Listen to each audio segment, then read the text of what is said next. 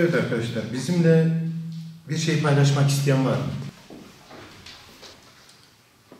Dinliyorum. Ben imamım.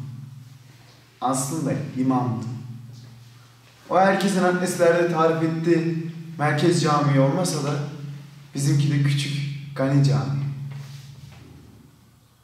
10 yaşında da bir oğlum var. Allah bağışlasın. Bunu da sizin söylemeniz gerekirdi. Neyse ben devam edeyim. Zarif bir hanımım vardı. Onunla da sıkıntılar yaşadık.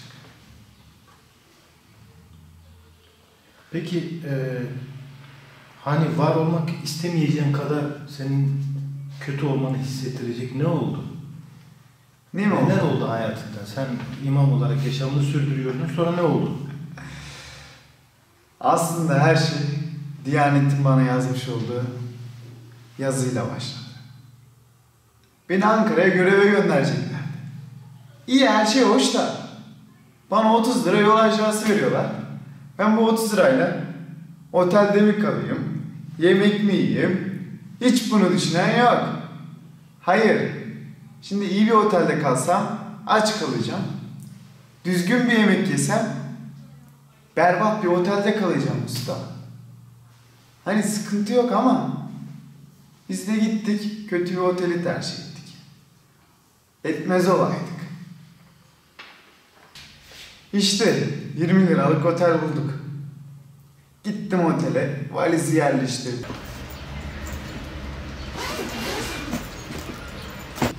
Şuranın haline bak ya. Tövbe tövbe tövbe tövbe. Tabi Ankara'ya gelmişiz. Bir de Hacı Bayram'da namaz kılmak lazım. Mübarektir. Neyse alayım dedim abdestimi. Çıktım kapıdan. Bir de ne görüyorum? Bir tane kadın çıplak tövbe estağfurullah. Tövbe estağfurullah. Kıvırta kıvırta bana doğru geliyor. Hani anlarsınız ya o kadınlar. Tövbe tövbe tövbe tövbe. İyisiniz değil mi? İyiyim, teşekkür ederim. Kocaman topuklu suyla üstüme düşüverdi. Başımdan kaynar sular akıverdi. Böyle tutmaya çalışıyorum. Her yeri çıplak. Neresinden tutacağımı şaşırdım. Üstüme düşüyor. Neyse işte. Çıktım. Gittim kıldım bak namazımı. E geri geldik. Yorulmuşuz. Bir uyuyalım dedik. Yol yorgunuyuz malum. Tam uyuyorum. Kapı çaldı. Pat küt. Kalk kalk kalk kalk. Mübarek dur mübarek ne oluyor ya? Destur de bir. Mübarek ne oluyor? Kalk kalk polis. Ulan polis sen de devletin memurusun ben de. Olay ne ki? Ne çabuk? Dur mübarek dur ya ne oluyor ya bir anlayalım mübarek. Ya, mübarek bir dur ya destur de. Estağfurullah bilazım. Düştüğümüz hallere bak ya. Hiçbir şey anlayamadan aldılar götürdüler. Meğersem fuhuştan almışlar beni. Düşünün ya beni Gani Camii'nin imamını. Hayır beni götürdükleri diğer adamlar da ipsiz sapsız nerede serseri varsa nerede ne kadar kötü kadın varsa onlarla beraber aynı otobüse tıkıştırdılar. Gittik karakola. İzah etmeye çalışıyorum. Ben imamım diyorum. Diyanetten görevlendirildim. Geldim buraya diyorum. Ha ha biz biliriz onları. Sizin gibilerden utanmak lazım diyorlar. Geldi, geldi, geldi. Çıktık Şerefsiz utanmadın mı? Şerefsiz imam Tövbe size imam imam. Zidakar. Hiç mi utanmadın yaparken? Hiç mi utanmadın? Şerefsiz kaçın. İt it. İnsanlar size inanıyor şerefsiz. Cevapsız bırakacaksınız. Cevap ver cevap. Yapacak bir şey yok. Girdim eve. Hanım desen bitirip. Oğlum desem imalı imalı bana bakıyor. Selamünaleyküm. Aleykümselam. Hanım inanmıyor musun ya bana? Neden inanmıyorsun ya? Tamamen tesadüftü diyorum sana. Televizyonlarda gördüydük ya suçsuzluğunu. Bir de adaletin yerini görelim. Utanmaz. Oğlum sen de mi inanmıyorsun bana? Yapma şunu.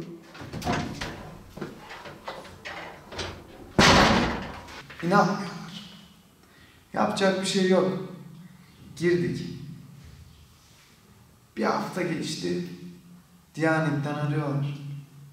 Kimseye inandıramıyorum ya. Diyorum siz personelinize inanmıyor musunuz ya? İmamınıza inanmıyor musunuz? Sokaklara çıkıyorum cemaat bakıyor bana kötü kötü. Ya hayır biz kılmadık mı o namazları? Biz beraber af dilemedik mi? Ben bahsetmedim mi cuma hutbelerinde zinanın ne kadar günah olduğundan? Sabah namazını kıldırmışım, eve gittim. Kadın da hala bir tafra. İnanmıyor ya, yüzüme bakmıyor. Öğle vakti geldi, camiye gittim. Bir de ne göreyim? Diyanetten bir yazı bırakmışlar. İşime son vermişler. O kadar borç, harç duruyor. Kimse yüzüme bakmıyor ki. Elden borç alayım da bankayı kapatayım. Gittik eve. Birkaç gün geçti. Tam da kandil günü ha. Artık dayanacak gücüm kalmamış. Yeni de sigaraya başladı. Artık canıma tak etmiş ya. Bir kutu ilaç. Dedim en iyisi bunu yutayım da öleyim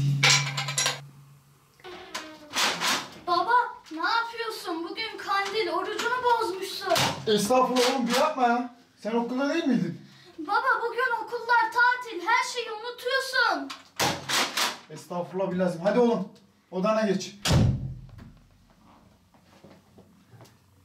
Hey ya. Her şeyi unuttuk. Evet Hüsnü kardeşim. Ee, hanım evde miydi o sırada? Yalnız mıydı? Yok. Anasına gitti. Durmuyor evde. Sonra buna benzer olaylar yaşadın mı? Tabii ya. Canıma tak etmiş bir kere. Gönderdim çocuğu anasına. Çıktım balkona. Gözlerimi kapattım. Tam atlayacağım.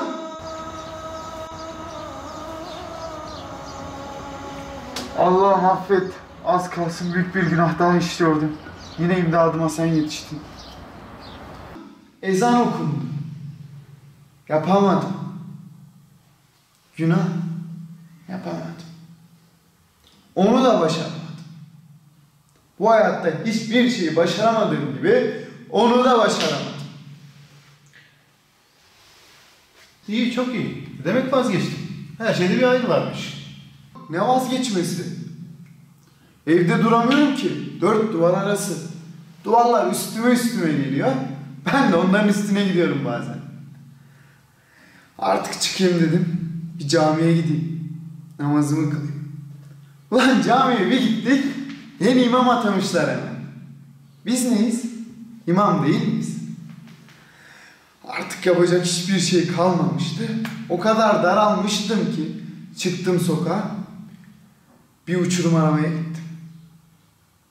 Sokakta öyle bir yürüyorum ki insanlar üstüme üstüme geliyor ama beni görmüyorlar sanki. Çarpıyorlar, geçiyorlar. Benden nefret edercesine bakıyorlar sanki.